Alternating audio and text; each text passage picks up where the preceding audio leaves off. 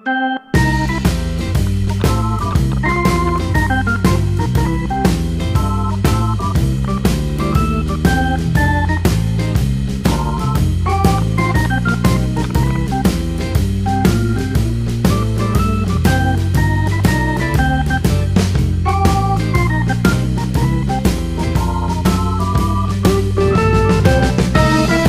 motor jenis Matic bisa dikatakan gampang-gampang susah teman-teman. Kenapa? Karena mengendarai motor jenis ini dibutuhkan teknik khusus agar bisa tetap berkendara dengan aman dan nyaman.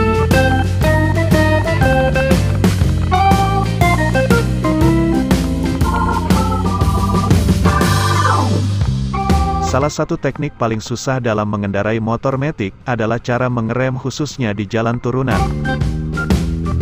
Tidak sama dengan motor biasa, mengerem di jalan turunan dengan motor metik itu tidak bisa sembarangan. Salah-salah pengendara bisa terjatuh bersama kendaraannya.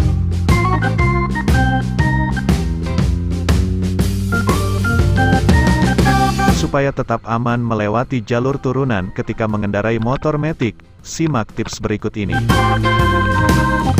Namun sebelum lanjut, bagi teman-teman yang belum subscribe, aku ingetin lagi untuk subscribe dan aktifkan notifikasinya, agar teman-teman mendapatkan update video terbaru dari channel ini. Halo guys, jumpa lagi bersama saya Dera Bunga. Sebelum kalian lanjutin nonton video ini, jangan lupa di subscribe ya. Oke, Hal pertama yang harus teman-teman lakukan saat berada di jalan turunan adalah jangan mengosongkan tuas gas. Ingat, motor Matic itu punya sistem persneling otomatis, jadi sangat tidak dianjurkan untuk langsung mengosongkan tuas gas ketika melewati jalan turunan. Jika Anda mengosongkan persneling sampai kosong, laju motor Matic beresiko menjadi tidak terkendali.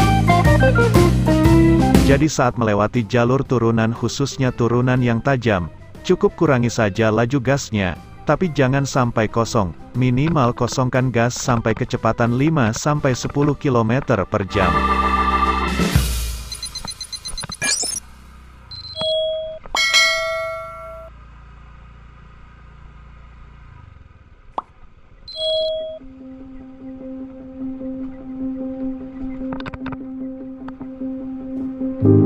Berikutnya adalah posisikan empat jari di masing-masing handle rem.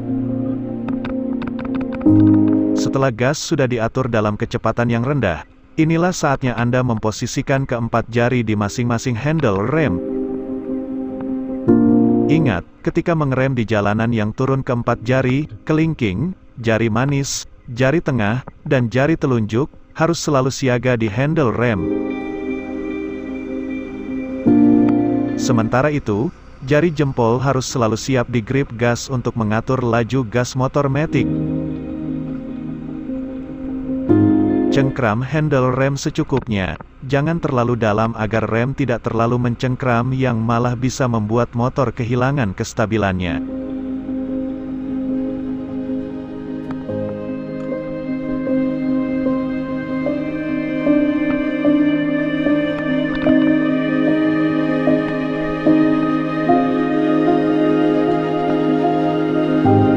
Tips yang selanjutnya adalah prioritaskan rem depan dibanding rem belakang.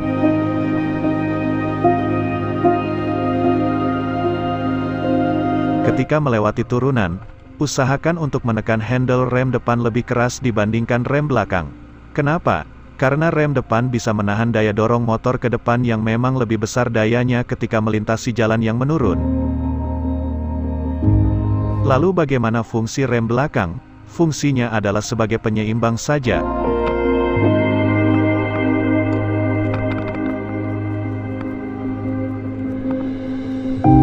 Hal berikutnya yang harus teman-teman lakukan saat berada di jalan turunan adalah jangan lepas handle rem sebelum melewati jalan turunan.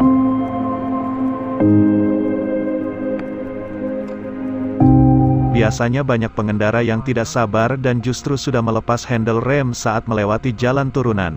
Padahal hal ini berbahaya.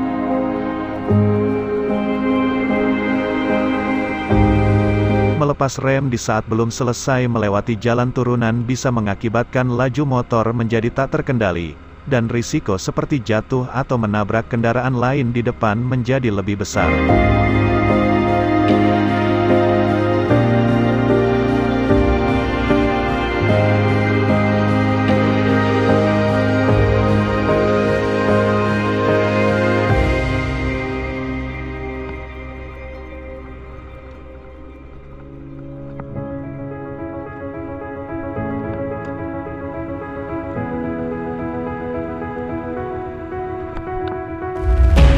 Dan tips yang terakhir adalah gunakan kaki kanan untuk menyeimbangkan.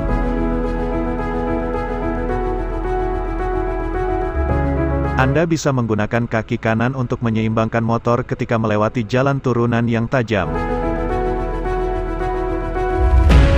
Hal ini juga bisa dilakukan ketika Anda melewati jalan turunan tajam yang sedang padat kendaraannya. Jadi saat padat kendaraan, kaki kanan bisa kita manfaatkan untuk menopang motor yang suka tidak suka harus sering berhenti.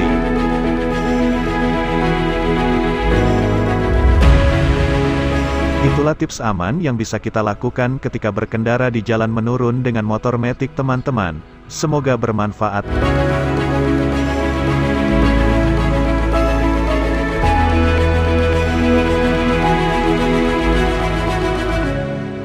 Terima kasih buat teman-teman yang sudah nonton video aku kali ini.